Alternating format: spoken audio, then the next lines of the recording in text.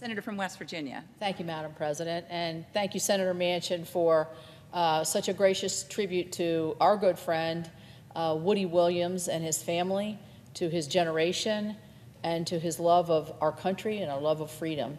And, and thank you for the leadership uh, that you showed to make sure that tomorrow could happen. Uh, I know we worked on this together. But uh, it was this is not an easy lift to lie in honor, as you know, in the United States Capitol. But to me, it's so symbolic of a generation, and I, I've encouraged everybody that I've seen to please come and pay their respects to Woody or to that greatest generation that Woody symbolizes in his passing. I also want to uh, thank the family. I can't see them from where I sit over here. I'm right underneath you guys. Uh, Woody had two daughters, Travi and Tracy and five grandsons and three great grandchildren, one of which is a daughter, great granddaughter. Uh, and I've had the pleasure of spending time with them uh, over the last several days. So I rise today to honor and celebrate the legacy of an American hero and proud son of West Virginia. And he was always a proud son of West Virginia. On June 29th, Hershel Woody Williams, the last remaining Medal of Honor recipient from World War II, passed away at the grand age of 98. And tomorrow, rightfully, he will become just the seventh American and the first West Virginian to lie in honor in the United States Capitol Rotunda. It's a well deserved recognition for a man from humble beginnings. Woody was the youngest of 11 children, and I'm, I'm going to tell my, one of my favorite encounters that I had with Woody uh, was he traveled everywhere. I mean, we would get on planes, and Woody Woody would be on the plane coming to D.C. and you ask him, where's he going? Or, oh, he's going to San Francisco or he's going to Seattle, or, you know, to do something for Gold Star families or flip the coin in the Super Bowl. I mean, he had more energy than, than all of us put together. But he told me a lot of stories about his early life when I sat on the plane with him. And he did tell me that during uh, World, War II, uh, World War II, when he uh, was very anxious to sign up, as so many of them were at those at those young ages of 18, 19, and 20, he had a problem because he didn't really have a birth certificate. He was born in Quiet Dell, West Virginia, which is a little spot in the road on a farm. But he told me that his mother had a really good friend, and his mother's really good friend would come over and help her deliver her 11 children and then Woody's mother would go over and help her friend deliver her seven or eight children, or however many she had. So he had no official documentation. I think he told me in the end, I'll have to make sure I'm telling this right to uh, Tracy, he told me in the end that um, they had to drag his mother's friend down to the uh, to the bureau in the county to make sure when he wanted to sign up to join to make sure that he was actually as old as he said he was. Um, so his, you know, being the youngest of 11, he made a lot of sacrifices for his family. But his acts of heroism would eventually help the United States capture the pivotal island of Iwo Jima, a world away from that dairy farm in Quiet Dell, West Virginia. Many Americans recognize the iconic image of our soldiers raising the American flag atop Matt, uh, excuse me, Mount Suribachi. It evokes an enormously well, overwhelming sense of pride for all of us, of patriotism, of triumph and on that same day that iconic photo was taken, February 23, 1945, a young Marine corporal by the name of Hershel Woody Williams was on that same island risking his life for our freedoms. That day, under constant fire, and he mentioned every time I heard him tell the story, he mentioned the folks that, were, that, that had his back, and some of them didn't make it. Woody, who was a member of the 21st Marines, 3rd Marine Division, alone stormed multiple enemy pillboxes with limited cover, neutralizing one after another, saving countless American lives behind him. He went on to, fight, to fight throughout the entire five-week campaign on Iwo Jima until our forces finally took the Japanese stronghold, marking a key turning point for the Allied cause. His actions that day and throughout the, are, are, uh, throughout the war are the reason why when West Virginians think of the greatest generation, we think of Woody Williams. But what would set Woody apart, I think, more than those acts of valor on the battlefield, it was what he did after that. How he carried himself in the more than 75 years since the Second World War. Through the Hershel Woody Williams Foundation, he advocated for Gold Star families. I was able to attend a couple openings of the memorials with him, and it was uh, quite moving, and worked to ensure that the memories of loved ones lost would go on forever. To date, Woody and his foundation have installed 104 Gold Star family memorial monuments across this country, with about 70 additional monuments underway in every state.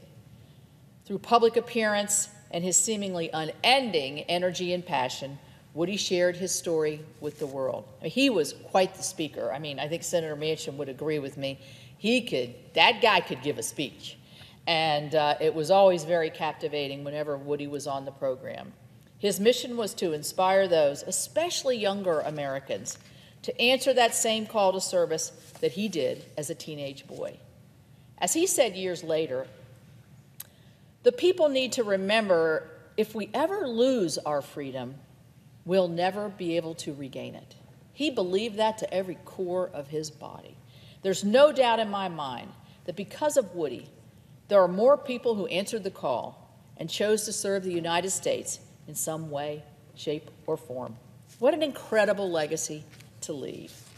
He also never forgot his fellow veterans, serving as a Veterans Service Rep for 33 years at the VA.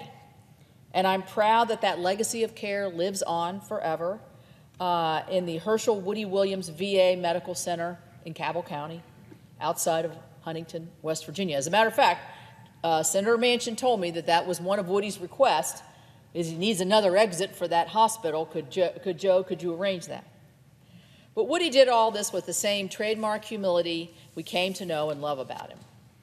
For instance, several years uh, after President Truman awarded him the Medal of Honor, Woody said he remembers asking himself in that moment, why was I selected to receive our nation's highest award when Marines right beside me didn't make it home?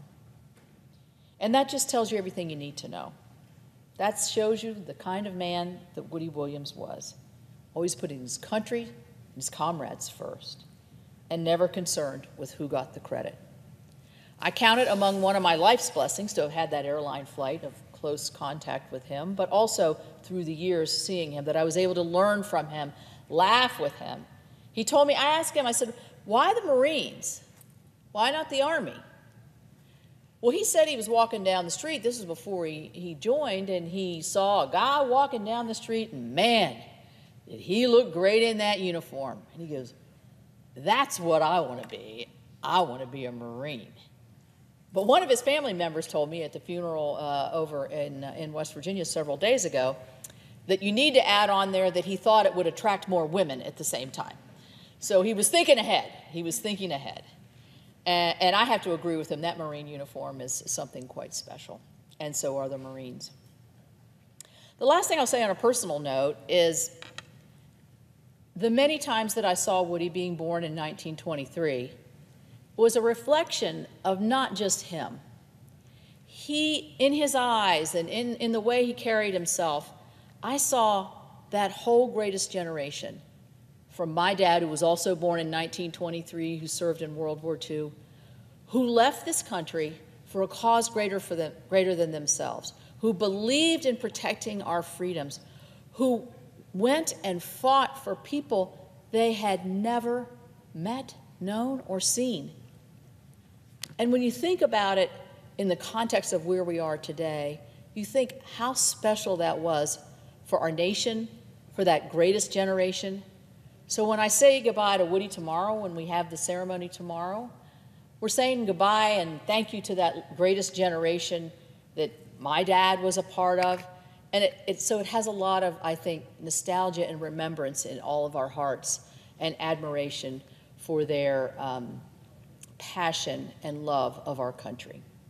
So, tomorrow, as we honor a great man and tell his story, Woody will still be doing what he's always done, and that is inspire us. So, here's to a well lived life and a country well served, even long after he wore the Marine uniform he loved so dearly. Hoorah, Woody. Rest peacefully, and thank you.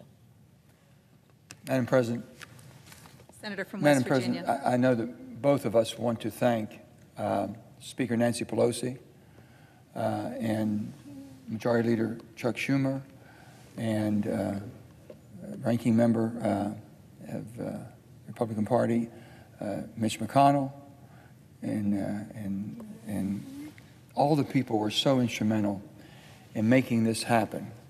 There's only been 35 people lying in state uh, in this Capitol. 35 out of millions and millions and millions. And it's a, a tremendous tribute for us, uh, coming from our wonderful, patriotic, beautiful state of West Virginia, to have the greatest generation being represented. And as Woody would say, it's not him, it's for everybody. And I hope all the families and everyone who had anybody that served. Uh, Shelley's dad was wounded in, in, in World War II, Purple Heart, and became our governor and uh, three times, and a tremendous friend of mine. And my father and all my family served in World War II. Uh, but to have so many people, but Woody is doing that for them.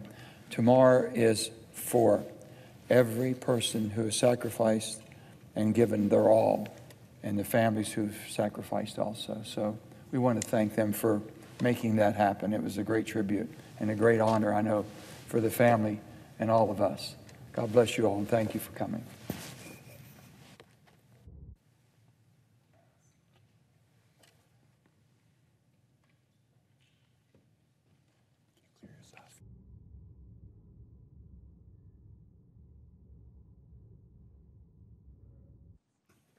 The Senator from Rhode Island. Uh, Before